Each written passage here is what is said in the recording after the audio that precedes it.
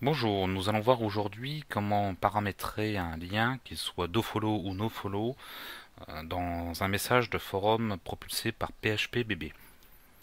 Donc quand vous rédigez un, message euh, ou que vous l'éditez, vous, euh, avez donc la, fenêtre de l'éditeur de texte qui est ouverte comme ceci, donc avec le sujet indiqué ici, et ici le corps de votre message.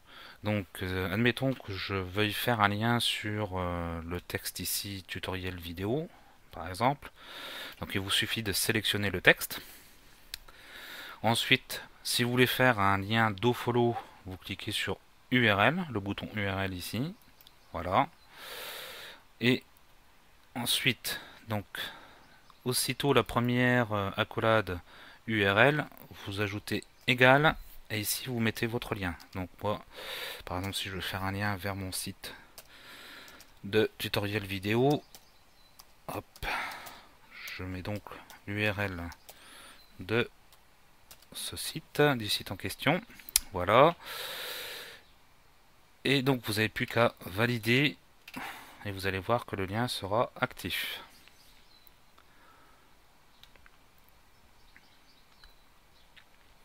Ensuite, nous verrons qu'en dofollow, c'est peu de choses près la même procédure. Donc vous voyez que là, le, le, lien, pardon, il est actif. Et donc on va éditer le, message pour mettre un lien euh, en nofollow.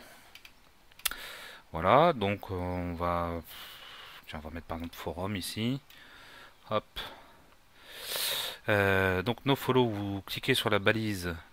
Pareil, vous sélectionnez votre texte, pardon, le texte d'encre de, lien. Ensuite, vous cliquez sur nofollow à la place de URL. Voilà.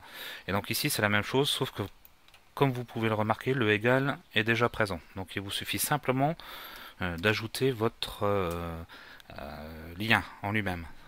Voilà. Je vais mettre un au hasard, et hop. Comme c'est juste pour l'exemple.